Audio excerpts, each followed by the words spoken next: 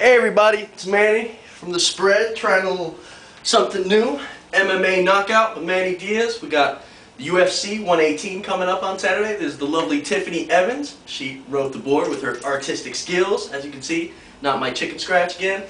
So we'll start from right here from the bottom. Oh, as you can see, there's a money money line odds different than what we're used to seeing. Um, the numbers are leveraged against $100. For instance, you would have to take pay $205 if you take Diaz, Nate Diaz, to win 100, whereas if you laid 100 on Marcus Davis, you would get 165 back.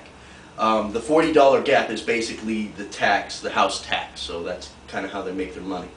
So anyway, all right, I like um, I like Nate Diaz. He's not as good a fighter as his brother Nick. He um, he has a lot of success both standing up and on the ground. I think probably, I'm not sure if it'll be a knockout or not. I've, I've seen Davis has a pretty solid record. He has um, reputation for being a tough guy, but I think roll with Diaz, it should be should be good. To, you know, putting two to one on your money. Um, okay, over to Kenny Florian and Gray Maynard. Kenny Florian's kind of a perennial um, number one contender. He tends to usually do really well until he gets to the title fight. He's good striker, good elbows. Um, tends to be a little soft for his size. Just his body doesn't seem, he, looks small for his size is what I'm trying to say. Um, the way the odds are, guys, it seems like it's too convenient to take Florian at minus 150 because when the more well-known fighter is favored by so little, it's almost like a trap game in football. I kind of would lean towards Maynard, or, at least not touch the favorite on this one. I like Gray Maynard. I think that that's a better proposition. Um, okay, up here we got James Lights Out Toney fighting Randy Couture. Um, should be exciting. A lot of people are excited to see Toney moving over to MMA. Um, try his hand at UFC. I guess he's been talking Dana White into it for a while. But they threw him right in the ring with Randy Couture, which kind of makes it seem like he's being thrown to the lions a little bit.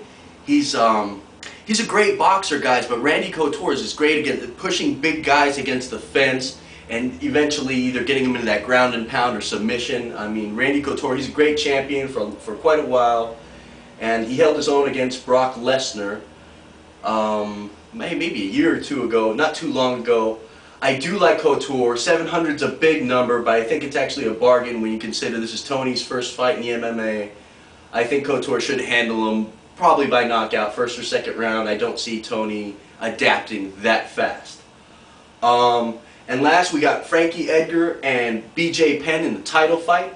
Um, B.J. Penn catches a lot of a lot of a lot of stuff for maybe sometimes going to big fights, not as well trained, or maybe not the, the shape he should be in. Um, he did lose to Edgar last time. Uh, you can tell by the odds when he's 3 to 1 favorite that probably he was even bigger favorite last time, which means it was probably a shock that Edgar beat Penn at all.